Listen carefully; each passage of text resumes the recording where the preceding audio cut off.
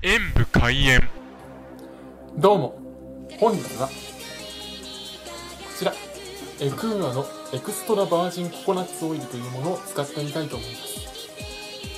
ココナッツオイルは自分も何度か使ったことはあるんですが体に良くてダイエットにいい効果的な油だと聞いています。でエクーアさんのサイトによれば現在の時期ではアイスクリームにかけて食べるのがおすすめということなんですがそれだとちょっと面白くないので自分は。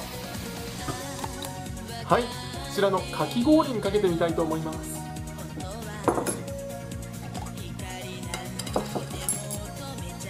開けるとこんな感じです。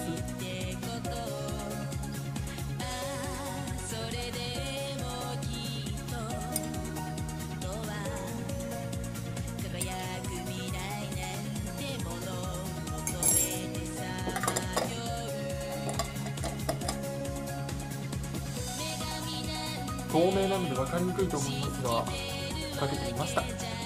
ではいただきます。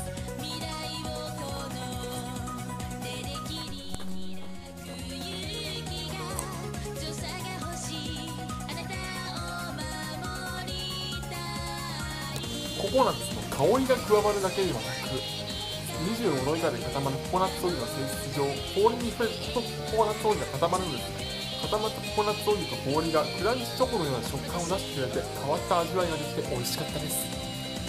他にもまだまだいろいろ使えそうですので使っていきたいと思います。ご視聴ありがとうございました。コメントしていただけると嬉しいです。パソコンおよびスマートフォンのアプリの方はクリックをお願いします